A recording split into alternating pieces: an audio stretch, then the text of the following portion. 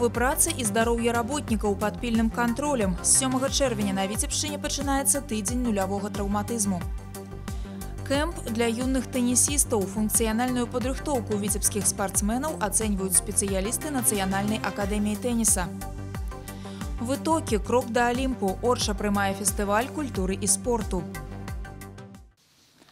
У эфіры навіны віцебскай вобласці ў студыі Вольха Шмаргун. Вітаю вас.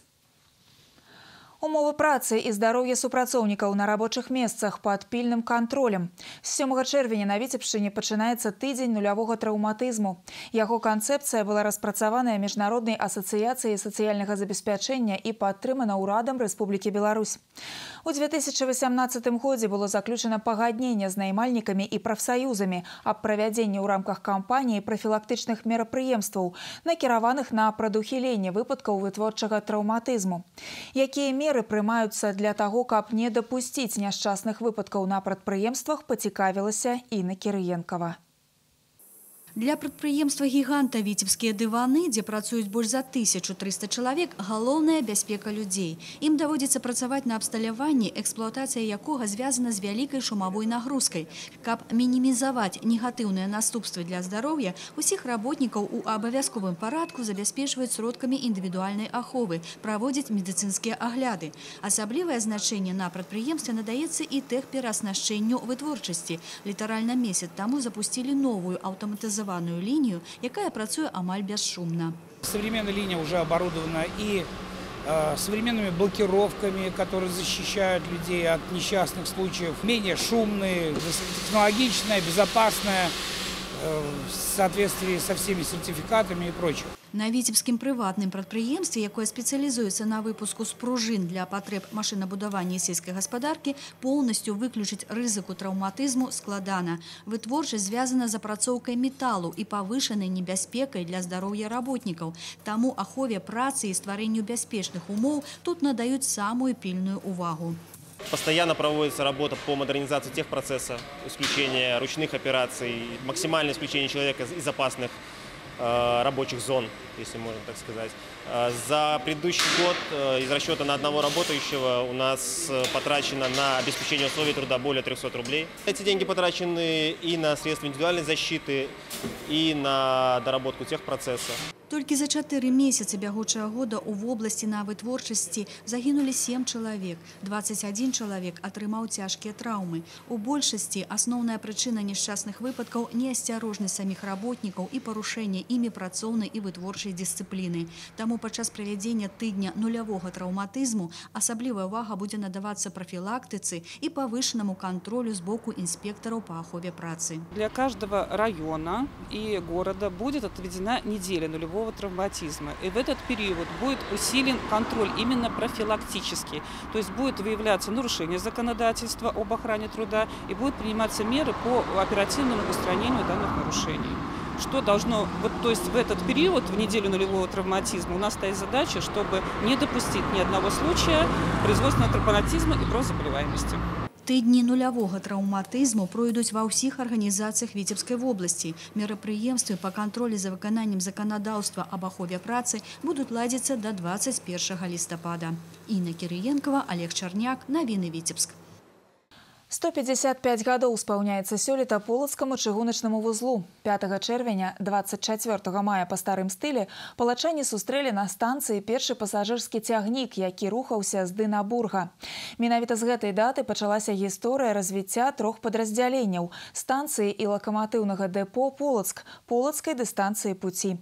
Што яны ўяўляюць сабой сёння, даведалася наш корэспандэнт і на падрэцкая крупнейший транспортный узел республики.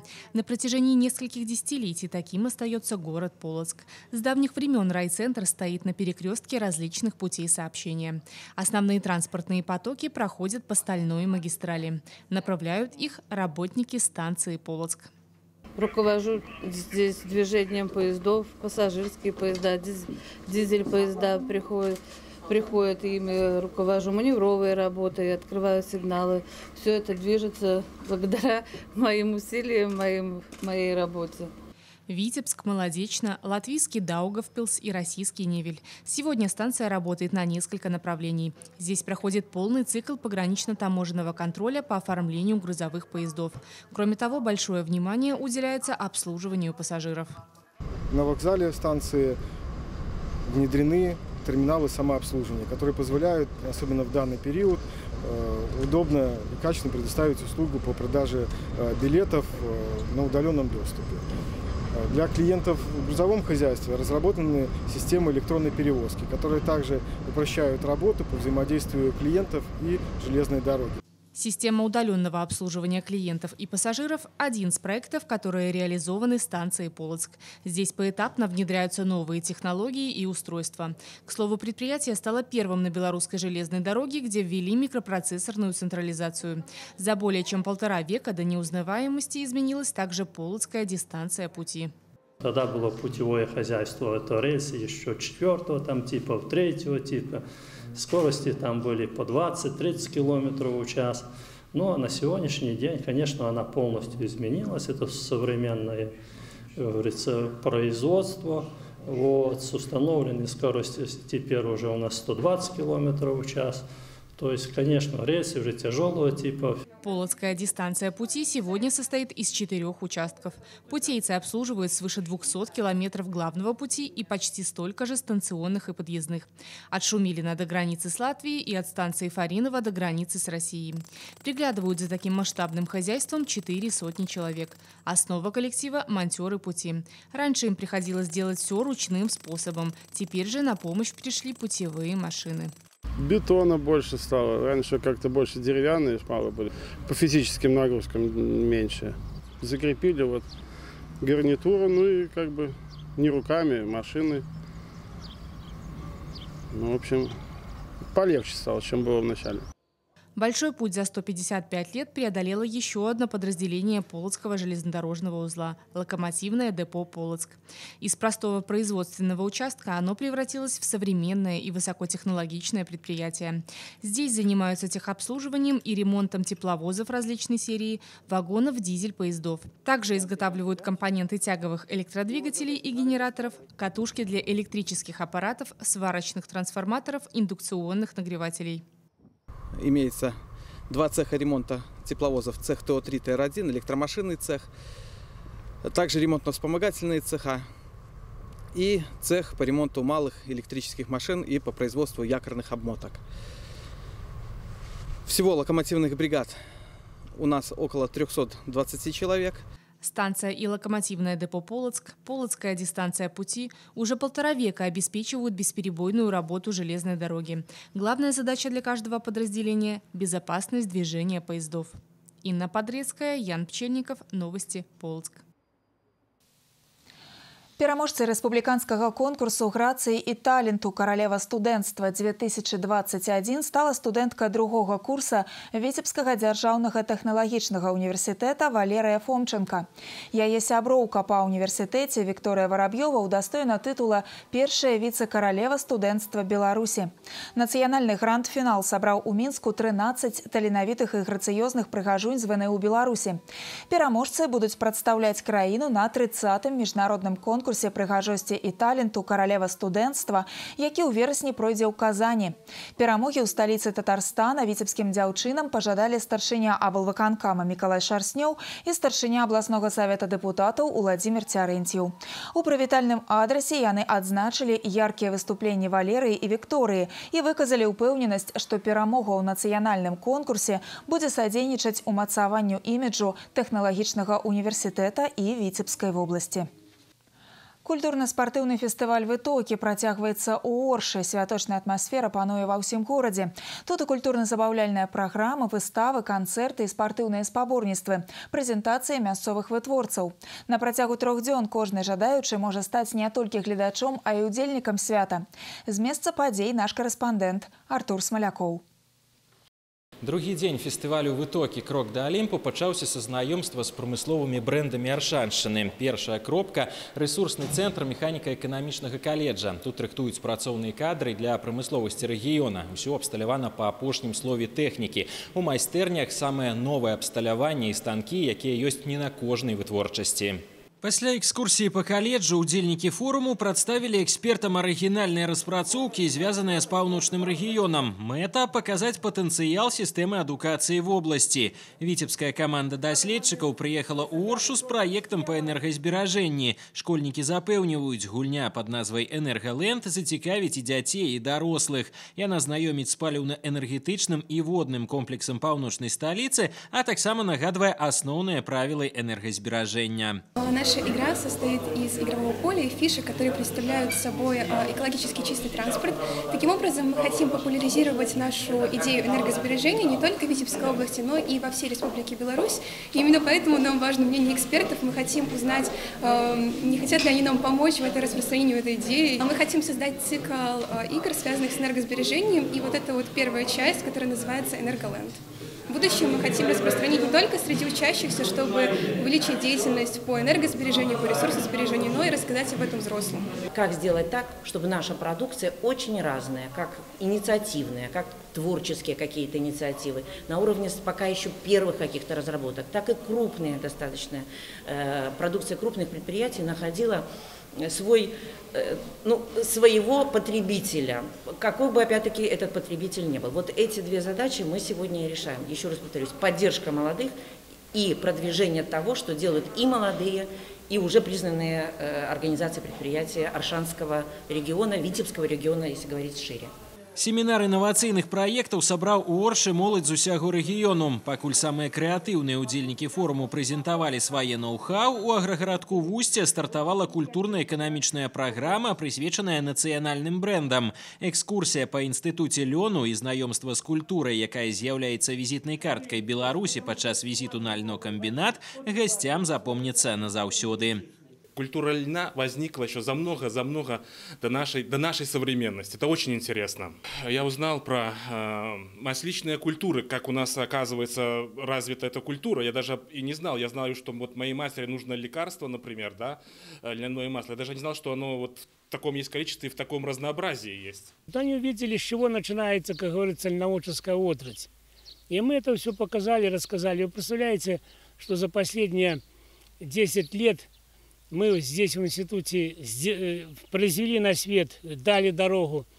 16 сортов получили здесь, да, льна долгунца.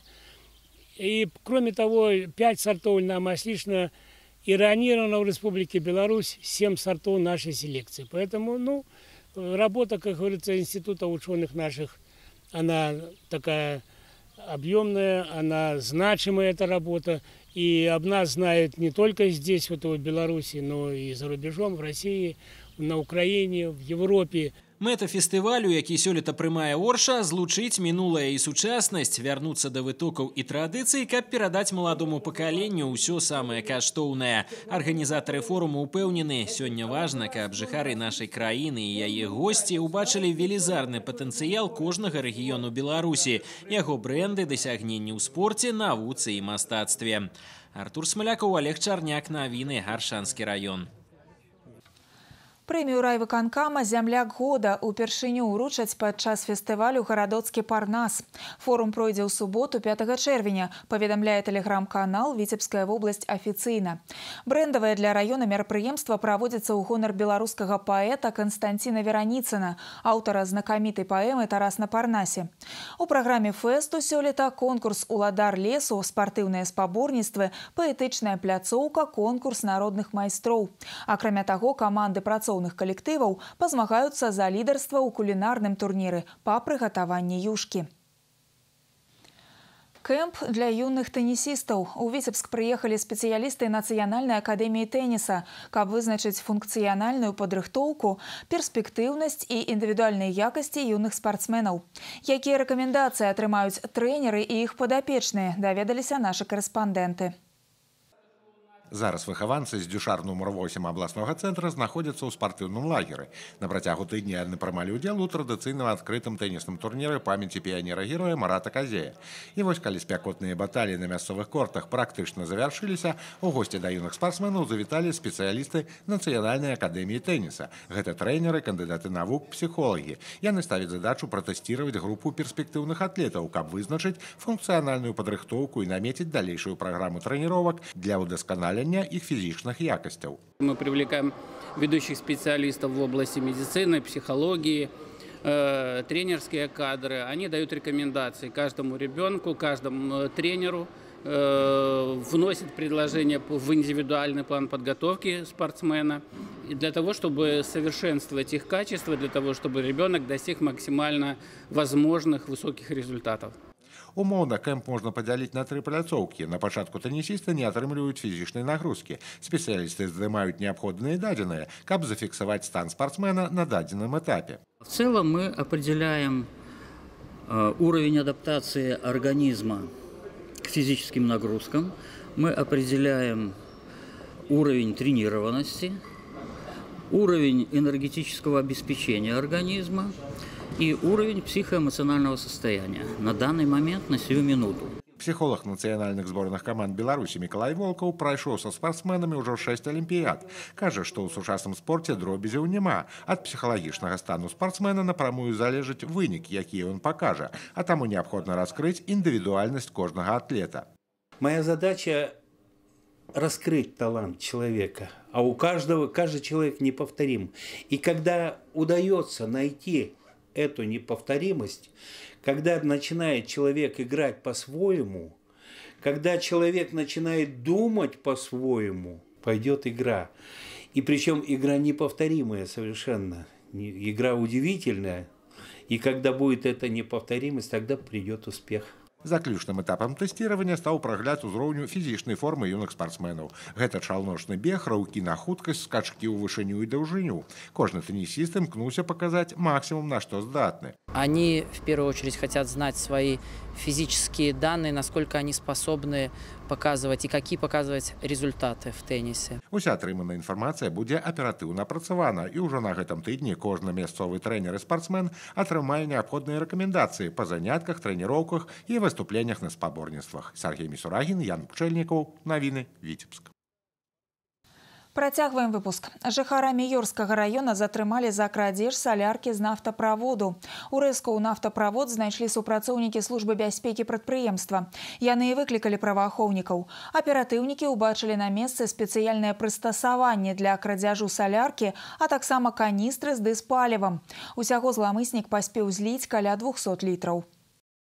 Сыщики, отработав круг подозреваемых, вышли на след злоумышленника. Им оказался 34-летний житель одной из местных деревень. Мужчина рассказал, что идею обогащения за счет нефтяной сферы ему подсказали во время заработков Российской Федерации. Там же он и приобрел специальное приспособление для врезки. Вернувшись домой, подозреваемый долго обдумывал план действий. В первый раз он совершил вылазку еще в апреле. Тогда его спугнули сотрудники службы безопасности. Не оставив надежду на обогащение за казенный счет, в конце мая он вновь отправился на промысел. Впрочем, несмотря на то, что в этот раз ему удалось украсть солярку, воспользоваться ею у сельчанина не получилось. У адносінах 34гадовага жыхара Міёрскага района ўзбуджана крымінальная справа. Затрымалі па гарачых слядах. Супрацоўнікі крымінальнага вышуку менш чым за суткі раскрылі дзёрскае злачынства, што адбылося ў цэнтры віцебска. Трое віцяблян напалі на незнаёмага мужчыну і сарвалі з шыі залаты ланцужок з кулонам, коштам каля 8 з паловай тысяч рублёў.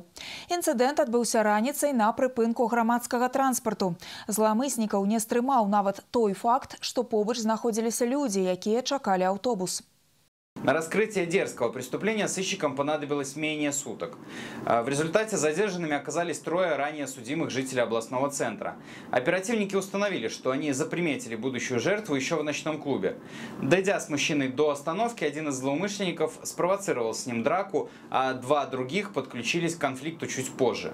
Несмотря на численный перевес, потерпевший оказал активное сопротивление преступникам. Однако в какой-то момент одному из них все же удалось сорвать с шеи золотую цепочку. После этого нападавшие бросились бежать прочь. Сдав награбленное в ломбард, злоумышленники отправились пропивать добычу. Крымінальная трыя затрымана. Аказалася, ўсе мужчыны раней мелі праблемы з законам. На гэты раз крымінальная справа ўзбуджана за рабаванне. Да іншых тэм гісторыя выратавання у першы дзень лета ў верхнядзвінску супрацоўнікі МНС выцягнулі з вады 29гадовую жанчыну. Яе аднесла цячэннем па рацэ дрыса. Сведкам надзвычайнага здарэння стаў рыбак. Ён і выклікаў дапамогу. Мясцовая жыхарка аказалася ў бальніцы, а ратаўнікі на старце купальнага сезону яшчэ раз нагадваюць пра правілы бяспекі на вадаёмах. Я рыбачил на западной Двине на мысу. Э, где впадает 12 э, дрис. И услышал за спиной сильный всплеск. И как бы я подумал, что может мост э, разваливается. И как обернулся, увидел, что какой-то человек плывет и что-то про себя говорит. Я сразу же позвонил в милицию 102, сообщил об этом. Прибыв к месту, на поверхности воды мы никого не обнаружили. Нами было принято решение обследовать акваторию реки вдоль по течению. Продвигаясь вдоль по течению, нас встретил рыбак, который сообщил нам о том, что девушку уже унесло дальше по течению. И она уже, когда проплывала по течению, говорила, «Господи, прости». Мы с водителем стали продвигаться вдоль реки через кусты, и пробежав метров 200, мы обнаружили человека на расстоянии около 40 метров в воде. Она просила о помощи, нами было принято решение плыть к ней, я застраховался веревкой, подплыл к ней, ухватился за нее, а водитель, получается, за веревку вытянул меня на берег. Далее девушку мы передали в карете скорой помощи. Все это время она находилась в сознании, но была в шоковом состоянии. Пострадавшая средней степени тяжести. Погрузили ее в машину скорой помощи и в машине оказывали помощь. Мерили ей артериальное давление, сделали ей укол от э, пониженного давления. У больной переохлаждение, шок. Транспортировали ее сразу в реанимацию. С наступлением тепла возрастает количество происшествий, происходящих на воде. Работники МЧС вместе с представителями ОСВОД и другими заинтересованными службами на постоянной основе проводят совместные рейды. Всем, кто решил отдохнуть у воды, покупаться, следует помнить о том, что делать это следует только в специально предназначенных для этого местах. Также не следует далеко заплывать. Если вы пришли отдыхать вместе со своими малолетними детьми, следует помнить одно простое правило – держать их рядом с тобой на вытянутую руку и не отпускать дальше. Также следует помнить, что не нужно заходить в воду, если вы находитесь в состоянии алкогольного опьянения. Если вы все-таки стали очевидцами того, как человек терпит бедствие на воде, следует помнить, что нужно сразу же вызвать спасателей по телефону 101 либо 112. Заўтра 5 чэрвеня дзень памяці пра падобнай еўфрасінні полацкай заступніцы зямлі беларускай. Яе шануюць і праваслаўныя і каталікі. У свой час аўтарытэт еўфрасінні быў настолькі вялікім, што яна магла прымірыць варожыя княжацкія кланы, згладжваць канфлікты. Яе намаганнямі ў полацку былі пабудаваныя два манастыры, дзве царквы. Адна з іх спаса Преабражэнская і зараз здзіўляе сваёй гарманічнай формай і унікальнымі фрэскамі. Створаны знакаміты шасціканічны Сімвалічны крыж. Па традыцыі ў полацку 5 чэрвеня будуць успамінаць і ў фрасінню пройдзе хрэсны ход. У сафійскім саборы адбудзецца набажэнства. Дарэчы, гэта адзіны дзень у годзе, калі тут праводзяць малебен. На гэтым у мяне ўсё далей паведамлення сіноптыкаў партнёр добрага надвор'я газета Віцьбічы. Я люблю свою работу, своих друзей, свою семью, и мне нравится, что любимая газета «Видбичи» всегда пишет о самом главном – «Видбичи» для меня и для тебя. Подпишись сегодня.